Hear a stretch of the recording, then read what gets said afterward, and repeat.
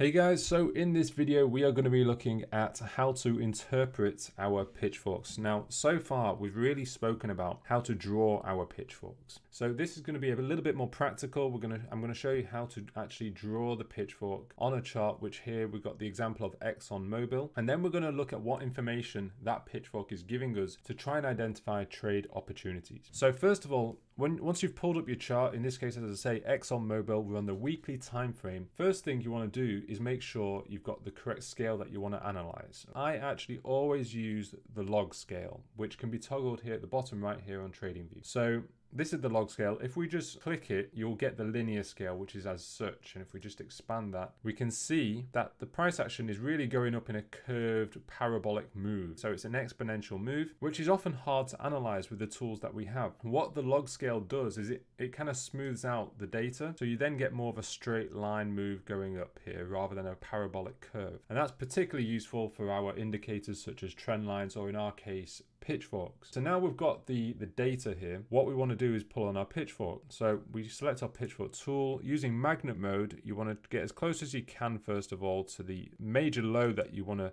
where the trend really starts. So this is the bottom of the trend. And then we'll look at the first wave up, which is the move up here, and the second wave down, which is this move here. So these are our first three pivots, our first, second, and third pivots. What I'll then do is I'll just zoom in on this to fine tune the pivots so that they are exactly where they need to be. So you want to look at the lowest point. You would literally want to go to the wick. As you can see, the wick is up here. For the second pivot, I want to make sure that that's right on point. And then same for the third pivot also. I can then zoom back out and then what I want to do I want to make sure I've got the correct pitchfork. Now this is looks looks pretty good. This this is an original pitchfork. We know that because the origin of the median line is at the same point as the first pivot as we previously discussed in the earlier tutorial. But let's just take a look at the other pitchforks just to see how they fare also. So we've got the original pitchfork at present. Let's have a look at the Schiff. The Schiff as you can see is just not holding the trend at all and the modified Schiff also not holding the trend. So certainly the choice of pitchfork is this one, the original pitchfork, holding the, the trend beautifully here. And you can see quite nicely the median line is shooting through the kind of middle of the price action, which is great. It's looking almost like a line of best fit. That doesn't always have to be the case. It doesn't have to be the line of best fit through the data points, but it's always a good sign that price action is adhering to this pitchfork if the median line is running through the, the center of all the price action. Uh, also, you want to look out for if, if it isn't the case, you want to make sure your other lines are getting respected, whether it's your upper median line, lower median line, upper or lower warning lines. So I'm very happy with the choice of pitchfork here. I feel like it's following the trend very nicely. The next thing that I would look at is where is trend being determined? Is it the lower warning line? Well, I reckon you can probably argue that we can identify a loss of trend here, i.e., a loss of this upward move before hitting the lower warning line. And the reason is we've never actually tested the lower warning line. You can see here we've come to this point here. This is probably this is the lowest within the pitchfork we had gone for about 50 years because this pitchfork starts at 1970 and we're going all the way up here to 2015 let's say. Well let's say top of a trend being here 2014. So what's that? 44 years. So it's a huge amount of data that we got here. At this point here we came down to this point which I would just just looking at it I see it as halfway between the, the uh, lower median line and lower warning line. So what I would just do, you need to do this when looking on the higher time frames. You'll get a lot of white space between your lines. So sometimes an additional line can be useful. So I'll pull up the settings and in this case, I would pull on the 1.5 because as I say, it's looking like the halfway point. I generally stick to these intervals of being multiples of uh, one standard deviation. So it could be one, two or three standard deviations. Usually I don't go further than the second standard deviation. And then I would look for the halfway point. So the 1.5, 1.25 can be considered, 0.5, 0.75, 0.25. All of these lines can be considered. In this case, the 1.5 is the one that is of particular interest. You can see we hit it almost to the T. So this is the point that I would define as the bottom of our trend. Now you can see the next time we really, we really test it is here. Next bit of information is what happened after hitting this point? Did we go up in a, a very explosive move to the upside? Well, it started off explosive which is understandable. We've hit the bottom of the trend. But the resultant price action is very overlappy and looks very corrective. That's where Elliott Wave comes in, and I've done a tutorial on that. Using Elliott Wave, I would be able to determine that this is looking very corrective, which gives me a big red flag. It's telling me that this is likely to come back on itself and likely to take out this low very soon. Now, if it is to do that, it would be taking out the 1.5 line, and in my opinion, that would be the break of the trend. So already, I would have my alert to this chart because of the fact that we've seen corrective price action off of the bottom of the trend here, which tells me that the next move down is probably going to break the trend. So in my opinion, the, the loss of trend was at this point here, here at around $90. This was your early sign that we're losing the trend. So this is how I would extract the data from this chart. Okay, in my opinion, at this point, it was likely that we were going to take out this low and we were likely going to correct the whole move up. Okay, so that's your first leg from here all the way up to here.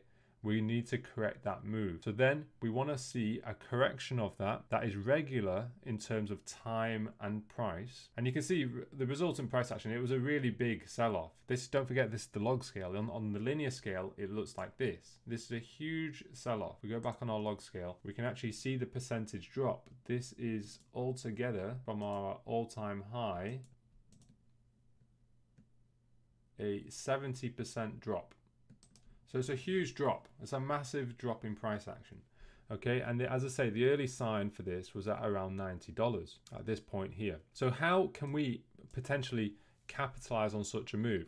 Well, one argument is putting a short once we lose the 1.5 line, and then your stop would need to be at the previous high above the previous high. Reason being is once you come down, you can always come back on yourself before continuing the downward trend. So what I would usually do is I would look for the first leg down and then I'd look for the correction of that and, and that's this point here. So this is your correction of the initial leg down that is opposing the major trend. So again, what you can do here, you can put a smaller pitchfork. You can look at this correction here because once that correction is finished, that's where you want to get in. So now what I would do, I would zoom in on this bit of price action here. I would again pull up my pitchfork tool, first pivot second pivot and third. So clearly this original pitchfork, let's let's take off our 1.5 line because it's not needed here. So the original pitchfork, I don't like it. First of all, we're not coming into the median line. Straight away, I do not like this pitchfork. Uh, so I always like to see the median line tested. So this is the original pitchfork. Then I would change and have a look at the Schiff pitchfork. The Schiff looks pretty good, I must say. Yeah, I like the fact that it's hovered around the median line. It's then hit the upper median line to the T after a three wave move. So I really like the way that plays out. Again,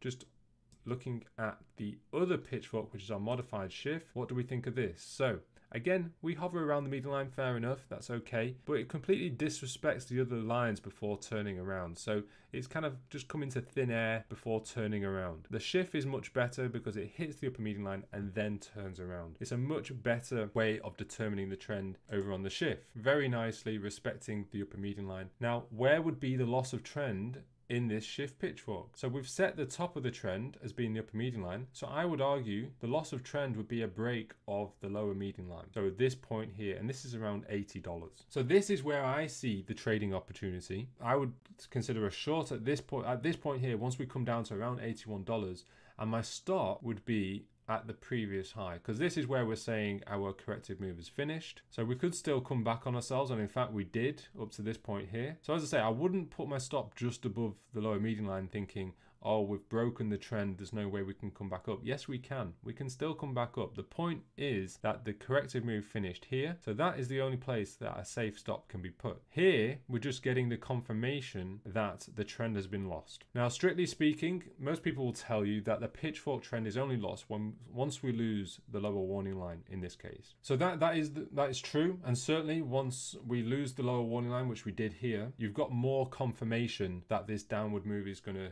develop. The only thing I'm throwing in here is a way of trying to determine a loss of trend earlier because very often that will allow you to get in at a better price. So it is taking on a bit more risk, not waiting for price to action to break the lower warning line. But from a probability point of view, the probability significantly increases that that we're going to continue the downward trend once we've lost this trend because the upper median line was setting the upper parameters of the trend. Also, you can apply Elliott wave. From an Elliott wave point of view, you've had a three wave move up and you've then started to come down very likely you're going to take out this low very soon because of the three wave nature in this move. So that's why Elliott wave is particularly useful in combining with pitchforks. So this is your this is where I see the trade opportunity. Now if we zoom out, we can see what happened since breaking this point. Yes, we came back up, but as I said, the stop would be up here because this is the confirmed corrective correction of the first leg down, and then we come all the way down. Okay, this is this is the trade opportunity. This is what this was the reward for the short.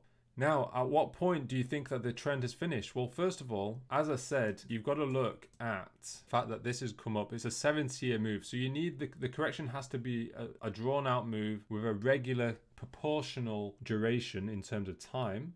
So this is from 2014 through to 2020 so six years okay that's a, a, small fraction of our 44 years but it's still a sufficient correction and, and on top of that you want to look at fib Fibonacci relationships. Also to look at the price drawdown. So we go from our low all the way to our high and you can see here we've come down and hit the 0.236 which is a minimal I'd say a minimal retracement required before confirming that a completed correction has has formed so that has occurred and so yeah you would always want to take profits once you come anywhere close to the 0.236 so the trade really is from around $80 down to around $40 that's where our 0.236 fib retracement is. So that's that's the trade right there. That's the opportunity. And so that's just really identifying what information the pitchfork is giving us and where are the trade signals.